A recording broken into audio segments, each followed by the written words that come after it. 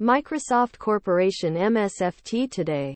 February 1 Microsoft Corporation hourly price changes of Microsoft Corporation, which closed yesterday at $340.67 and started the day at $340.54.